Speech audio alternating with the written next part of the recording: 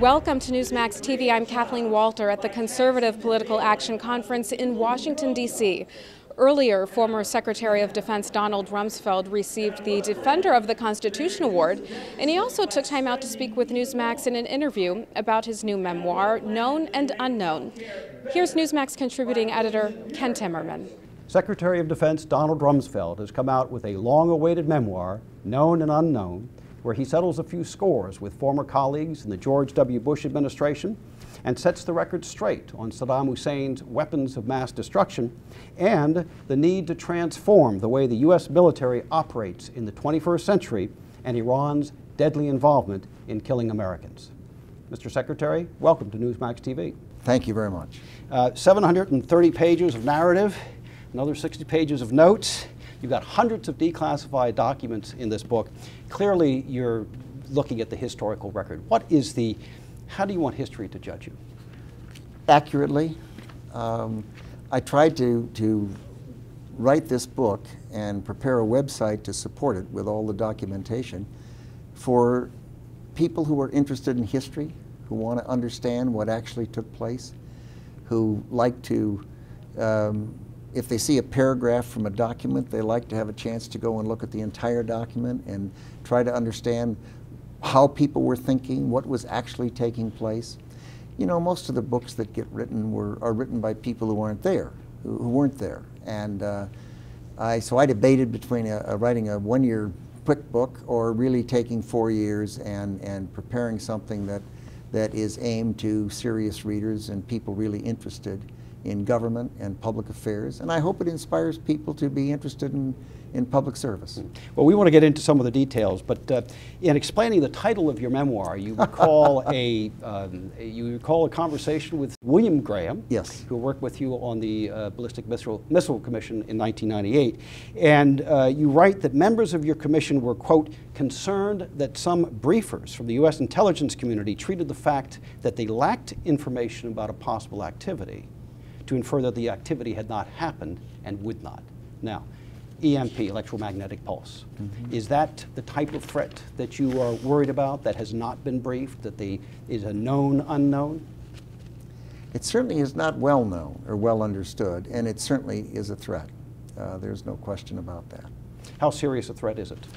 Well, time will tell. Um, uh, the, the, um, we are so dependent on digits we've thrown away the shoe boxes with the three by five cards that cyber warfare and, and uh, electromagnetic pulses and the things that can uh, avoid competition with large armies and large navies and large air forces clearly have a, a leverage, an advantage.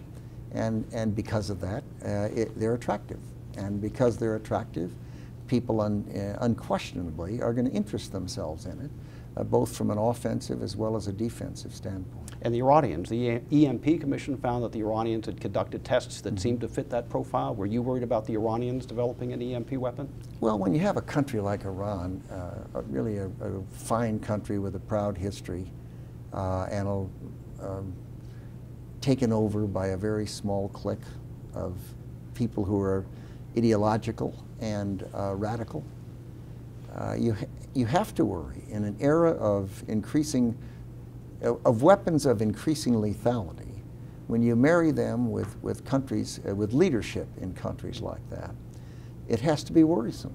And, uh, and we in this country and, and other people who value freedom uh, and free nation states and have to recognize the, that that combination of, of a radical ideology and weapons of mass destruction is a dangerous one. Mm.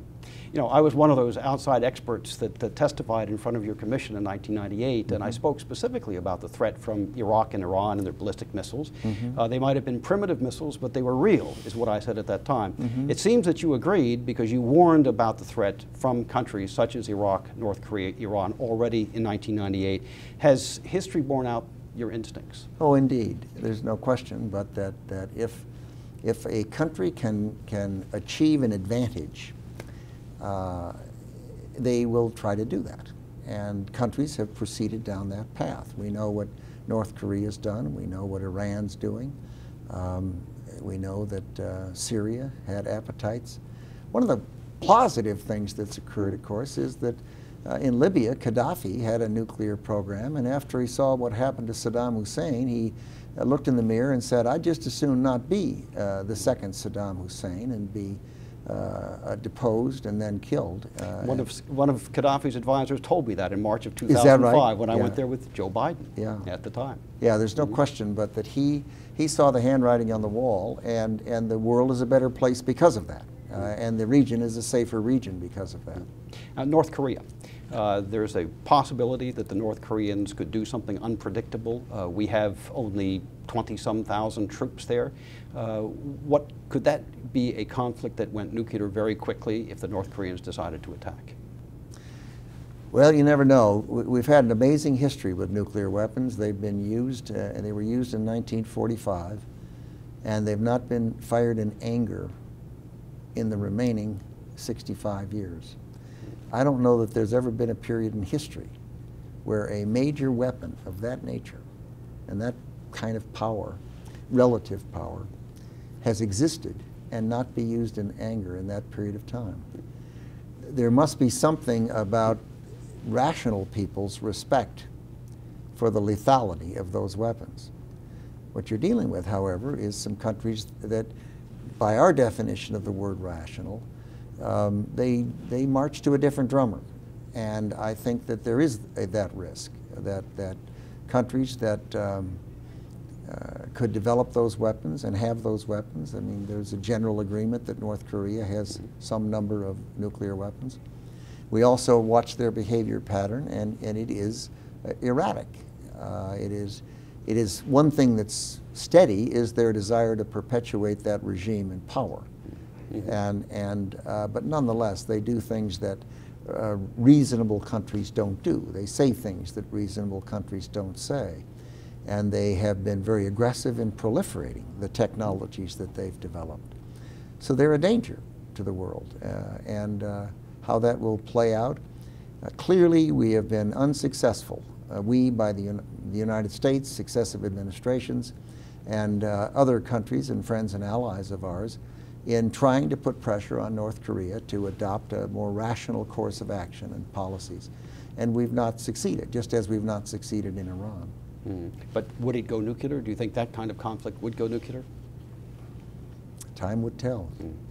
All right, Iraq. At, one point, you said in the book uh, that the failure of the Bush White House to effectively counter, quote, half truths, distortions, and outright lies in the national media allowed the president's political en- enemies to write the narrative of his administration. Why do you think the White House didn't push back more? Oh, one never knows. First of all, it's hard to do.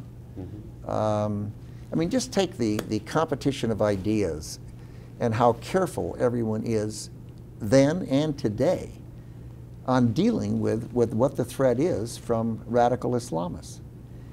It, to the extent people talk about it, they're accused of being anti-Muslim, which is not true. The radicals are a relatively small portion, very small per- percentage, and uh, and yet to the extent you engage in that debate, you run the risk uh, of of if you're in government of considering being considered that you're propagandizing, and, and there's a criticism from the, about that. If, if you're dealing with the problem overseas, you're criticized because you're, it's suggested that you're against that Muslim faith, which we're not in our country. What we're against is people who are going around killing other people, other innocent human beings. And, and we ought to be willing to say that. We ought to be willing to say that there are radical Islamists who are out trying to damage the nation state, to kill innocent human beings, and we ought not to allow them to do that. Right. But the president's critics in this country said Bush lied, people died, and they didn't push back. And of course, it was an outrageous statement. It was so inaccurate. President Bush and Colin Powell and Condi Rice and the Vice President and George Tenet and I believed fully in what we said. And, and let there be no doubt about it. And, and to suggest that the President of the United States was lying is, is inexcusable. Um, he, he resisted that. The White House did. But the drumbeat was too powerful and it overcame that. And history will show that what I've just said is correct, uh, that these people uh, were worked hard, they made their best judgments, and they, they were saying exactly what the people in the, in the Congress were saying who saw exactly the same intelligence. They were saying what the intelligence community in the United States believed. They were saying what the intelligence community in, in other uh, nations such as the UK and France and Germany and elsewhere believed. And, uh, and it was unfortunate that, that the lies overwhelmed the truth. President Obama, he's been in power two years. If you were to give him a grade on his handling of national security affairs with A for excellent and F for failing, how would he rate? Well, you have to, you have to say that he, he was opposed to indefinite detention. He was opposed to Guantanamo Bay. He was uh, opposed to military commissions.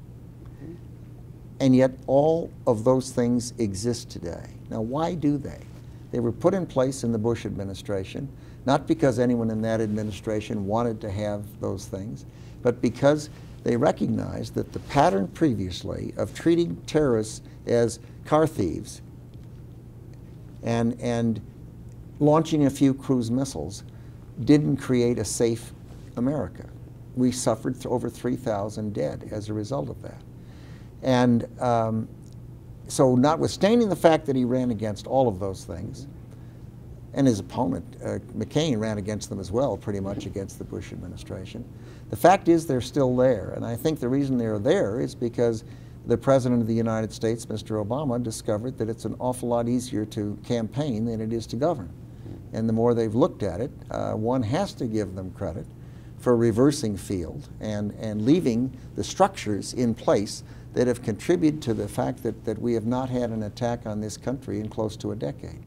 That was Newsmax contributing editor Ken Timmerman with former Secretary of Defense Donald Rumsfeld. Thank you for watching Newsmax TV.